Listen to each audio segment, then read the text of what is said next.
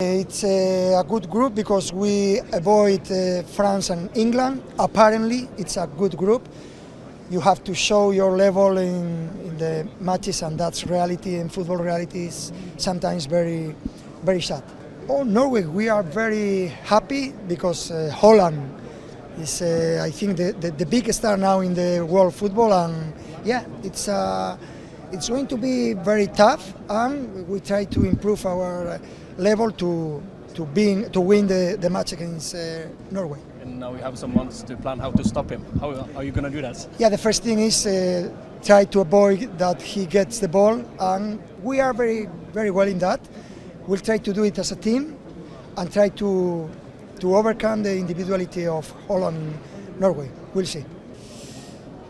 Who knows? I don't know. I don't know. Yeah, that's very difficult. Scotland is improving, getting better with uh, the results and with the, the way they played. I don't know Georgia. It's uh, we know very well Georgia because we played against them, and they are improving also. And I don't know Cyprus. I don't know. We'll see. Yeah, complicated game, of course. You know, we've just played them twice, very difficult games. Fantastic football nation with some good players. So, um, yeah, we will have to be at our very best to take points from them. I think everybody's seen what North Macedonia did um, in the qualification for uh, the World Cup, and also Ukraine. We played them in uh, uh, Euros, and um, the scoreline looked comfortable, but it wasn't a comfortable game at all. They're, they're some very good players, so I think it's a really tough group. Yeah, it, it's. Um, uh, of course, all of us are thinking uh, and sending our uh, prayers and thoughts to, to, people in Ukraine anyway. Um, so the football is secondary to that. Um, but I know that the games they've had, they've played with tremendous pride and uh, a high level of performance, and I'm sure that will be the same uh, for our matches. We've got some good young players who are already part of our team and, and part of the squad. Um, and even the young ones now have, have got have started to get a reasonable number of caps. So for 2024, that will be uh, that will be even more exciting. You know, more experience for them, uh, a World Cup behind them as well. So, yeah, uh, my feeling is England should be competitive for a long a long time. Our youth development is good, our academy system is good.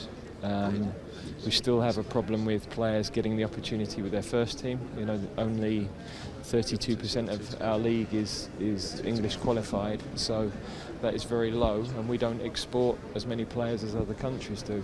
Um, but that's been the same problem for the last five years, so it's um, no no point me keep talking about it. Well, I think there's only there's only eight games, um, so some windows will only have one one game. Like, in, for example, in, in in the World Cup draw, we had three games in six days in, in one window, three qualifiers in six days. So, you know, we're, we're, we're comfortable with all that. And, um, you know, I think uh, some great games Ireland, Holland, Ireland, France, you know, Greece obviously are a much improved team and doing well again. And, um, you know, we look forward to look forward to getting ready.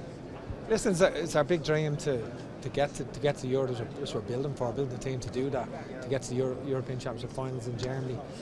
You know, the draw's been unkind to us, but regardless, you know, that's that's life. Just got, you've got to take every challenge that you know that life throws at you.